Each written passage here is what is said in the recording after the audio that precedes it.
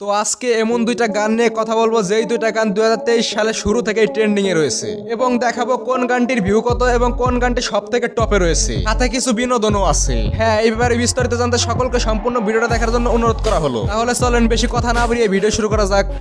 WhatsApp আসসালামু আলাইকুম this is Sami without বক বকানি তো বর্তমানে ইউটিউবে যেই গানটা সব থেকে ট্রেন্ডিং এ রয়েছে, সেটা হলো মানিক মিয়ার সিল সং যদি আমি হয়ে যাব তো হ্যাঁ এটাই মানিক মিয়ার সিল সং যার ভিউ ফোর মিলিয়নের উপরে। এই গানটা কিনা দুই সালের শুরু থেকে ট্রেন্ড চলতেছে। কিন্তু কিন্তু কিন্তু এখন সবার মনে একটাই প্রশ্ন, যে এই টিকটকার মানিক মিয়া সৌদি থেকে দুই, দুইবার করে তার অবস্থা এমন কেন? হ্যাঁ এখন সেই কেন মেয়ে নিয়ে লাফালাফি শুরু করছে? এটা শুধু আমার প্রশ্ন না, আপনারও প্রশ্ন। হঠাৎ করেই মানিক মিয়া হাজি থেকে গাজী হয়ে গেলেন কেন? তার সম্মান তো এখন মাটির সাথে থই থই করতেছে। আর টিকটকে ঢুকলে শুধু তার এই গানটা নিয়েই কথা। তাও আবার দু একজনের মুখে না, সবার মুখে। মানিক মিয়া অনেক এই মানিক মিয়াকে অনেক আগ থেকে চিনি বড় সেলিব্রিটি বানা দিলাম। তিন চারটা মাইয়া নিজে নিয়া নিয়া নিয়া ঘুরে।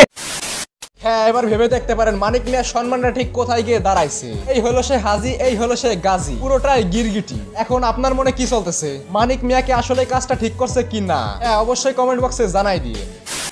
এবার আসা যাক ট্রেন্ডিং এর দুই নাম্বার গান নিয়ে। আর সেটা হলো আতিফ আহমেদ নিলয়ের স্ত্রীর ভাইরাল সং আমারে একা ঘুমায়া রইলি রে। ও সরি সরি সরি এর নামটা বলা তো ভুলেই গেছি। নওশিন আপা। হ্যাঁ এই গানটার ভিউ প্রায় মিলিয়নের কাছাকাছি। গানটার প্রথম শিল্পী আতিফ আহমেদ নিলয়। কিন্তু বর্তমানে তার স্ত্রী। গানটা হয়তো আতিফ আহমেদ নিলয়ের স্মরণে গানটা গাওয়া হয়। এখন এই দুইটা গানের মধ্যে আপনার কোন গানটা সব থেকে ভালো লাগে? বা কোন গানটির অভিনয় সব থেকে ভালো হয়েছে অবশ্যই কমেন্ট বক্সে জানায় দিন। কিন্তু মানিক মিয়ার ব্যাপারটা আমার কাছে একদমই থাক, ওই ব্যাপারে আর কিছু বলতেও চায় না। তো যাই হোক, আজকের ভিডিওটা এই পর্যন্ত ভিডিওটা ভালো লাগলে একটা লাইক দিয়ে এই ব্যাপারে আপনার মতামত জানিয়ে দিন। নতুন আরও কোনো ভিডিও আসতে আসতে সবাই ভালো থাকবেন, ভালোবাসবেন।